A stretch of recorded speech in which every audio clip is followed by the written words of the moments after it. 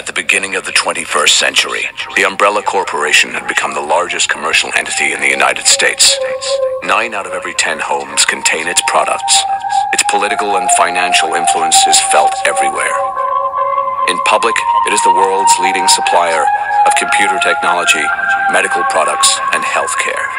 Unknown even to its own employees, its massive profits are generated by genetic experimentation, and viral weaponry. And viral weaponry.